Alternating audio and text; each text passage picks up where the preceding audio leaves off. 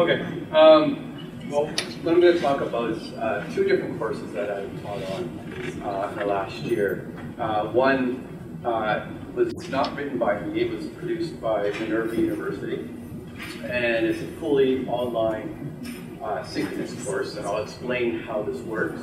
But I'll also then explain how it kind of motivated me and inspired me to try different things in my own course that I created about digital literacy and uh, kind of changed from fully online synchronous course to a blended course and try to adopt some of the same pedagogical approaches. Before I get talking about the two courses, uh, just quickly go over and explain the different modes of delivery that are possible now because of technology. And of course, there's face-to-face, but um, I'll go through these others very quickly. You have your fully online synchronous course, so that's making use of things like Zoom. I think now we're all familiar with what, well maybe not all of us, but we're familiar with what Zoom is, conferencing tools, video conferencing tools. Uh, and for this course that I taught on multimodality, making use of another platform called the Minerva uh, uh, Forum. Fully online asynchronous courses, that might be through Moodle, through uh, Canvas or Blackboard, making use of discussion forums, Google Documents, that sort of thing. Things that are not time dependent or immediate in real time. You can do a combination of a fully online course. Parts of it might be synchronous, parts of it might be asynchronous. Or you can do blended, and blended comes in various forms, right? 50% face-to-face, 50% online. Or it could be 60% online, 40 and so on. I think the number usually is it, it's blended. They say if it's 30% minimum online, 70 for online or, face-to-face. Once you get more face-to-face, it becomes a web-based, supported face-to-face type of teaching. All right, so just keep in mind those different modes of delivery. Also, I'm going to very briefly introduce the community of inquiry uh, framework. I'm not going to go into too, too, much detail about what it is, but I will draw your attention to the three main components, which are social presence, cognitive presence, and teaching presence, because they're quite important if you want to design uh, different ways using different modes of delivery for uh, pedagogical design. But social presence is basically the ability of participants to identify with the community communicate properly in a trusting environment, and develop interpersonal relationships by way of projecting their individual personalities. So basically, how are you allowing for people to have their own identity in the classroom, be able to relate to other people, and express themselves and connect in different ways? Right? So how is your course enabling social presence? Cognitive presence is basically to the extent to which learners are able to construct and confirm their understanding of something. Right? how is the knowledge, or in our case, the language, the skill set that they're trying to learn, how are they able to construct meaning, construct new objects, uh, or artifacts, written, spoken, and how are they able to confirm their understanding and reflect on what they're learning? And then teaching presence. And this isn't just the teacher themselves, this is actually in the course design. So uh, your tasks, your engagement prompts, the syllabus, in online learning, everything from step-by-step -step modules, the steps of what to do, uh, when to watch a video, when to take a quiz, that's all the teaching presence. Right? So that's all there. Right? And I'll, I'll come back to this uh, to explain things. But first, I'm going to illustrate what the fully online synchronous course of Minerva was like, so that I can tell you how I've adapted that into one of our language courses. All right. Don't try to read this. Uh, the reason why I put this up is because I want to illustrate how complex the Minerva curriculum is. And the Minerva curriculum has four, four first-year courses, or foundational courses. This is the one that I taught on multimodal, on multimodal communications. Right? This is just the first semester. Okay? These are other courses in the curriculum for Minerva. And each course has what they call HCs, or competencies. Instead of intended learning outcomes, students must learn certain competencies by the end of the course. And what they've done in Minerva is they've mapped out the competencies all across the four foundational courses and then continuously up through the four-year curriculum. So in multimodality, the competencies that my students after the first semester were supposed to learn were things like interpretive lens, context, critique, connotation, source equality, organization, thesis, evidence-based, composition, audience. Later on, they learn uh, purpose, uh, they learn, they, they return to connotation, they learn uh, things like medium. Right? So these are all competencies that are required to be a good communicator in a multimodal context. Later on in the other courses, these will pop up. So what students learn is they actually learn that connotation is important, not just in my language course. Connotation is important in empirical analysis too. So I learn this competency in a different context. Okay. This is what they give for all of the different competencies, a very clear five scale rubric, right? A description what that competency means, and then examples of how we teach and how we grade it. So it's pretty uh, detailed uh, about what we're trying to learn or what we're trying to teach the students. And this competency, for example, for connotation will be the same throughout their entire four-year curriculum. Okay. Why is this important? Why am I talking about this?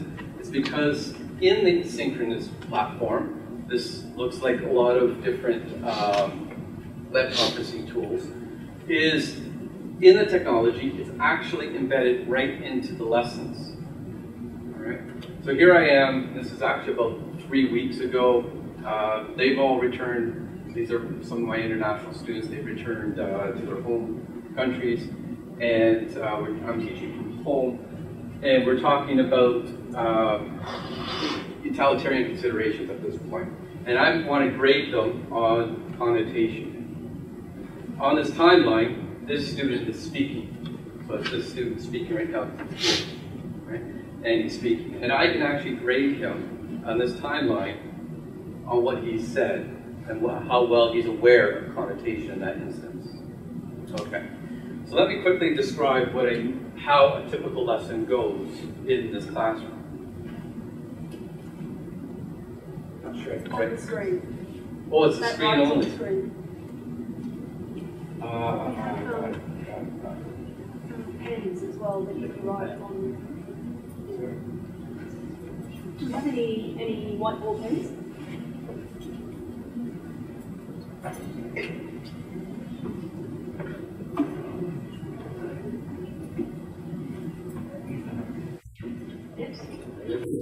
okay. It's okay.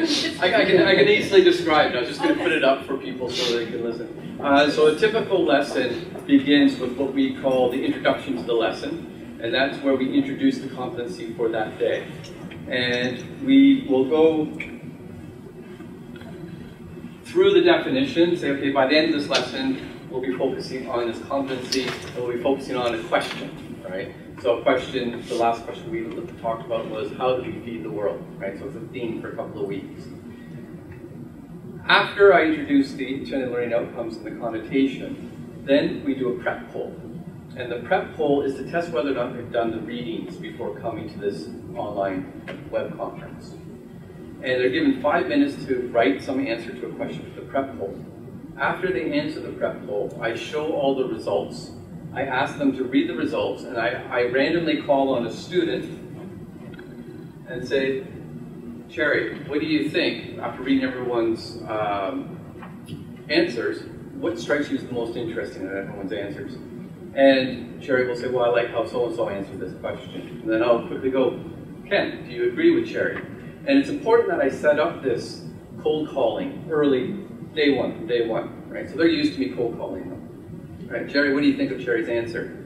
And because they're used to this method, that they're listening. Right? So Ken will say, oh, I disagree with Cherry. I think maybe the other student's answer is better. All right. So that's the prep poll. After we get to the prep poll, we get to an activity. The activity will send them into breakout groups with a task.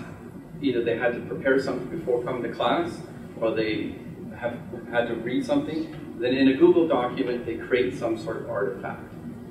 Right? So they're all they're sent off into different breakout groups, different rooms, and I can visit them in each of these rooms, and I can even listen to them. And they can't see me, but I can listen to them. When they come out of the breakout groups, I call on each individual. Oh, thank you. Uh, so we have the introduction, we have the prep poll, and then we have a breakout group. I hope this comes off. right? Which is basically activity one, right? And then after the breakout, we have a debrief of the breakout where I get the students to report on what they talked about in the breakout group. And again, all cold calling, it could be a relay. I'll say, okay, uh, Sarah, please present what you guys did in your breakout group. And she'll present it. I said, okay, thank you very much. Gian, do you agree with what they said? How would you have done things differently? And so on, right? Then we go into a second breakout group. That will be an activity two, and there will be a debrief as well. Then we have a reflection poll afterwards. And what this reflection poll does is it ties in what they've done in the previous activities. Right? The prep poll is really to see whether or not they got the readings correct, right? Whether they understand the readings. The reflection poll is designed to see if now they can go in breadth about it, go in deeper. Right? So now I'm no longer looking at how correct they are answering, but how they're able to discuss things in more depth, more breadth. Okay? And hopefully these activities prepare them for that. And then we end with a closure. Okay? And usually for the closure, I'll call on the student, and it's just a simple thing. Uh, what's one of your key takeaways from this lesson? And then they'll answer. And then again, I'll do a relay with other students. Okay. So that's a typical lesson in an asynchronous, le uh, or sorry, in a synchronous lesson, where I'm cold calling them, and they're used to it. Because the system records everything and timestamps every time someone talks, I can go in to activity one and grade them on how well they exhibited those competencies in the asynchronous, or sorry, in the synchronous lesson. Now, none of this would be possible without the platform. So this is where the pedagogy and the, and the technology really work hand in hand. So in a sense, in this case, we have active learning, which is the cold calling. I have them constantly talking to each other through the activities. Um, I'm not doing a lot of talking. They're doing most of the talking. I only facilitate and interject when I think something uh, needs to be said, right? They are used to the cold calling, they're used to being participants, so there's that social presence in that sense, right?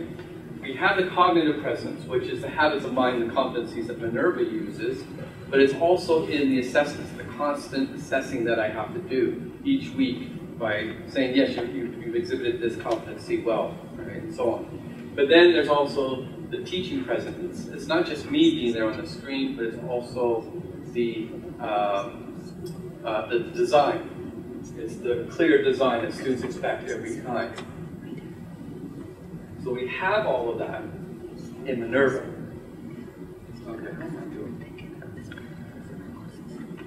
Blended learning, which is what I want to transfer what I've learned in the Minerva course mm-hmm. into a blended learning course. I don't have this platform that allows me to record everything. I don't do everything synchronously online. I'm going to do the online component asynchronously through Canvas, and the synchronous part will be in, in class face-to-face. -face. So how can I take a similar format, because it worked really well in Minerva, but with different technology adapted for this new course. So the course that I designed for this is called Mediating an Introduction to Digital Literacy. It's really geared towards teaching people how to communicate effectively online, but also be a little bit more critical of what they really read online. Right? In Canvas, it looks like this. It has the modules from week one defining, whoops, from week one defining uh, digital literacies to multiliteracies, multimodality, down to online language, critical digital literacy, and so on. My classroom was like this. I, I had 48 students in the class. So I had a room like this with the tables. how I ended up doing this is I treated each table as a student, and I'll explain what I mean by that in a moment. Because each week I wanted something similar, where the students will come in, they had to show that they've done the online work. I had a prep poll, and I used different tools like Kahoots. Although now, Jay, those tools that you showed me, I might start using those as well, or I can see some use for those. But the point is, I, I, had some sort of technology that allowed me to do a prep poll to, to, test whether or not they did their work, and I could exhibit it. They enjoyed using Kahoot. Then I did breakouts. Canvas allows us to create groups in Google Documents very easily. So going back to why I assigned each table as a student, I said, okay, your Google Document 1, your Google Document 2, Google Document 3. So each one would be a different Google document. And the students would have that in the Canvas website already. They would have a task. These, each table was acted as a breakout group. They would complete the task on Google Documents. And then I would ask each table to present their results in the classroom. Right? Sometimes it would be just one activity, sometimes it would be two activities. I would have a similar thing with a debrief, get them to say, well, what did you learn from this? Okay. And then I would use a reflection poll as well. The reflection poll would be just a simple Google form with a question and get them five minutes to write into the Google form. And then I would show the results and post them into the Canvas so after class they could read them as well. Other forms of social presence that I allowed were discussion forums. Each table became a group in the discussion forums, each week someone had to lead a discussion. Right, so this was part of their online work. Right, and it was easier to manage than just one giant discussion forum. So there were different groups. Each group had four students. And over the semester, at least one student led one discussion. And that discussion would be based on one of the topics in the modules. Okay? And then they had to create some artifact, like a podcast, which is what part of the course is about. Okay. So what does this mean for pedagogical innovation, or is it just about innovative pedagogy? That's one thing I want to think about, because we have different modes of delivery. I think we can apply a similar framework to different modes of delivery. We just need to make sure that the social presence we need to make sure there's cognitive presence and teaching presence. In my course, I made sure that every lesson students were aware of the ILO, and uh, I used the curriculum and course design as teaching presence. But you can think about across why it's not just pedagogical innovation, it's also across the four-year curriculum or three-year curriculum in language education. Right? If we adopt, say, competency-based learning, and each course that we have focuses on different competencies. But by the end of the curriculum, four years, they have to do some major project where they exhibit all of the competencies. Or maybe uh, at the end of a year, they have do some project to exhibit some of the competencies. But the main point, oops, can't go back.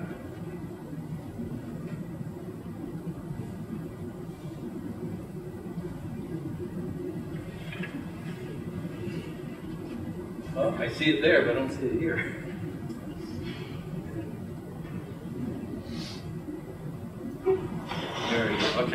Uh, I guess the main point is we can see that, like from Jay's presentation and from different delivery modes, we have the technology, but we're, we have to avoid just adding it on as an add-on. It has to be part of the curriculum design. It has to be part of pedagogical design or, or, or tasks that we do in class, and plus uh, assessments as well you have to think of it all together in that sense. So that's basically the point I want to talk about there. Any questions? Quick question. Um, the online, what, how long does that take? How long? 90 minutes. Yeah, so it's a 90 minute class. Um, sometimes it feels inflexible because the lesson plan is embedded right into the system, and I can't deviate. It even has a timer up at the top, top corner that tells me how many more minutes I have left for the class. And I can time myself. So I can see, well, I've 30 minutes for this activity. And then when it gets past 30 minutes, the time turns red. There's a lot of pressure. I have to admit that the cognitive load is demanding at the beginning for something like this, right? Because you're not just thinking of the content you're teaching, you're not thinking of the teachers, the, sort of students, or the interaction in that. You're also thinking about the timeline and the and the technology. But once you get used to that, you don't even think about it. And actually get used to. Um, I taught two classes in this platform, uh, multimodality and complex systems, and so I'm with the students for the second year. It's the same cohort. I've seen them grow, um, and they they refer to themselves as Minervans. so they actually, I, I think the curriculum works quite well. Many times have you had a chance to run the digital literacy course? Once. Uh-huh. Yeah, so I ran it once last year, and I'll run it again this spring. With some alterations or? I'll, I'll have some alterations. Yeah, yeah. I think I'll use. I'm going to embed more reflection polls. I didn't do the reflection polls all the time. Right, then they worked really well. Uh, and I'll rethink some of the pre-class tasks, some of the breakout tasks that I did. But as a general format, it worked quite well. Right, to run the face-to-face class. Do you have a control group that you can compare these students to and see any differences between? Uh, Minerva, Minerva's fully online there. It's, it's a different, it's part of a special scholarship program that UST has. So I wouldn't know what you would compare them to. It would be nice. I was just wondering, uh, the prep poll and the reflection poll, are they both assessed, like from, Uh, or so, can- yeah, in the Minerva course, I have, this is, it is a lot of work actually, Minerva course. We have to grade them every week. And um, the, the instructors, we sit down and we determine, do we grade them on the prep poll? Do we grade them on the reflection poll? Or do we grade them on the activity? And we try to do a combination of all. So by the end of the semester, they'll have up to, I think, 20 different grades, and they're, they're very minimal, like they're, they're, they're low, they're not weighted heavily, but they add up.